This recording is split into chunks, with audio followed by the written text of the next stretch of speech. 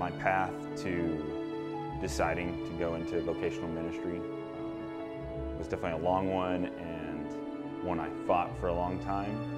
My biggest influence in making my decision was my mom and dad, uh, seeing their life uh, together, uh, working as missionaries, working on the mission field.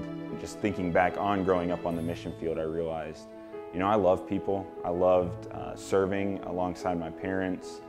Uh, and I, I, just loved being in the ministry context uh, and working, uh, working for service, working uh, with the church.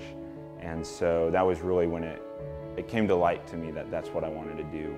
Deciding to go into uh, a master's program was pretty stressful, trying to figure out I'm graduating from college, about to start a master's program, you know, how am I going to be able to pay for that?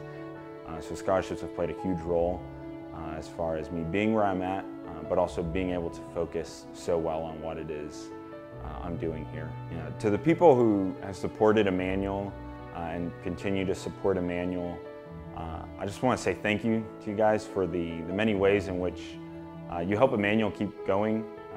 thanks to you guys, there are hundreds of people working in churches throughout the United States and throughout the world uh, Emmanuel has really set me up in a, in a, good way. It's challenged me in lots of ways. It's helped form my faith, and it's helped me uh, help me gain perspective of what I want to do uh, once I graduate and go into ministry.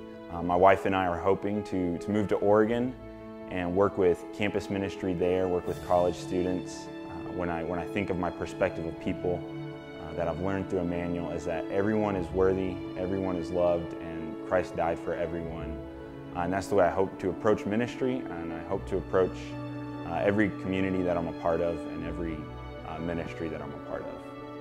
Your financial gifts are making an impact for the kingdom, making an impact in people's lives. It's made an impact in my life. so thank you for your gifts, thank you for your support, and just thank you for the, the many ways in which you've blessed us, blessed this community, and continue to bless the kingdom of God.